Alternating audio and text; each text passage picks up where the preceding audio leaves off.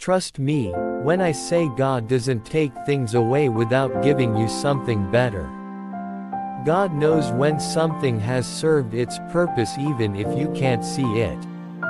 God knows when things should end even if you're not ready. God is planning what's next for you, because He knows that you need a change. He knows that He's taking you to a better destination or guiding you to a more fulfilling life. Trust me when I say God hears your prayers. He's listening to you and He's giving you exactly what you want but in His own way.